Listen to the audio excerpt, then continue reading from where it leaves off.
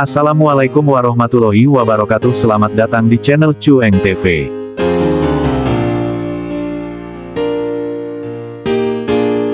Keseimbangan optik di sini jelas mengutamakan kemudahan dalam melihat bonsai. Artinya, bentuk keseluruhan tanaman tidak ada kejanggalan. Jadi, sangat penting untuk memperhatikan tajuk berdasarkan sinar matahari. Di sini tajuk yang terkena sinar langsung harus lebih besar dibandingkan yang tertutup. Selanjutnya adalah gerakan batang yang akan mencirikan di mana dia tumbuh. Sehingga tak sekedar mengolah gaya, tapi harus berdasarkan hukum alam. Contohnya, untuk tegak lurus harus mencirikan tumbuh di wilayah yang luas, sehingga cabang dan ranting punya gerakan lebih bebas. Bonsai sebagai karya seni, mau tidak mau harus memberikan pesan yang menyesuaikan dengan kondisi fisiologisnya. Contohnya, bonsai yang hidup di daerah gersang harus mencirikan kesulitan mendapatkan air. Begitu juga untuk daerah yang subur, maka tanaman harus terlihat gemuk dan sehat.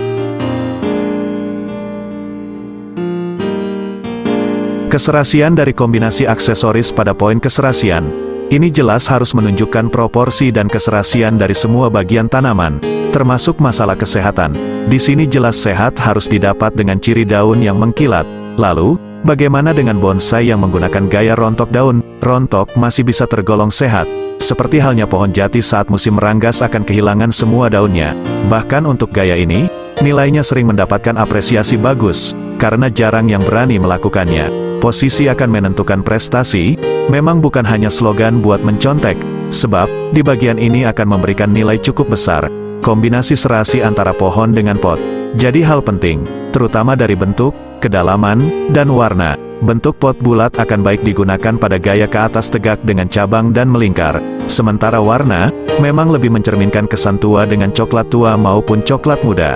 Kemudian untuk menjadikan tanaman berkesan tua, tentu harus mempunyai bagian yang mati, tapi tetap menempel. Di bagian ini tentu akan memberikan kesan tua yang kental, apalagi bila dilakukan penghalusan untuk memunculkan warna alami kayu. Hindari penggunaan cat, karena juri akan memberikan catatan khusus. Selain itu, melakukan penempelan batang mati untuk memberikan kesan tua masih belum diizinkan.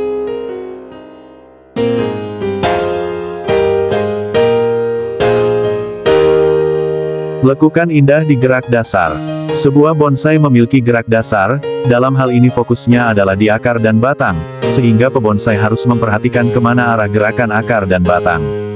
Bagi para senior, tentu sudah mengerti mana yang baik dan tidak, tapi untuk pemula cukup kesulitan untuk membentuk bagian akar dan batang.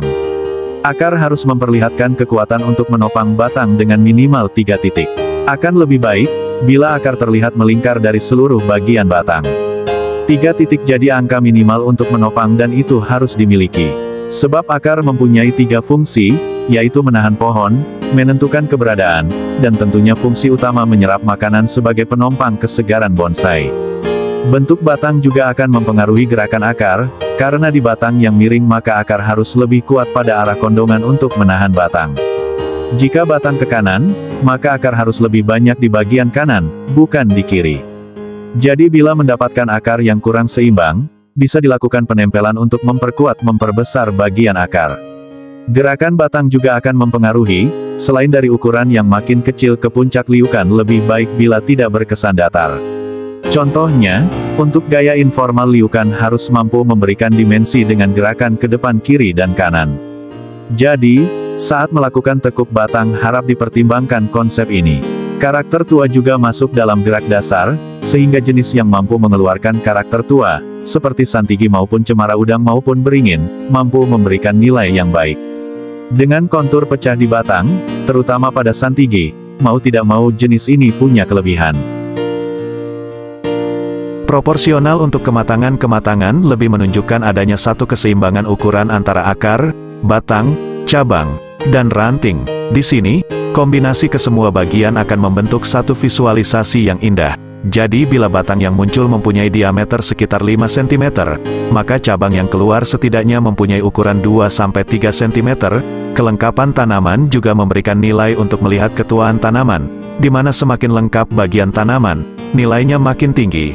Namun bukan berarti banyak cabang akan memperbanyak nilai, karena yang diutamakan adalah bagian fisiologis, yaitu akar, batang, cabang, ranting, dan daun, dengan posisi yang lengkap, maka dimensi atau kesan besar dan jauh dari pohon harus terlihat. Caranya, bisa dengan memberikan gerakan cabang atau ranting di bagian belakang tanaman.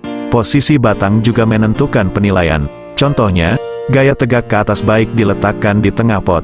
Jadi, pot dan tanaman jadi satu kesatuan bentuk yang tak bisa dipisahkan.